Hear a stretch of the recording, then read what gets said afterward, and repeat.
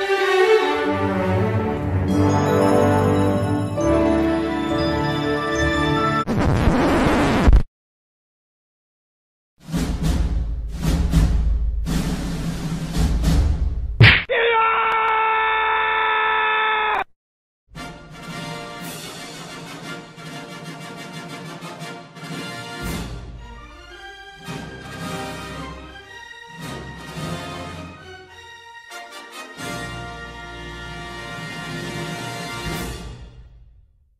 20th Century Fox. Not New Line.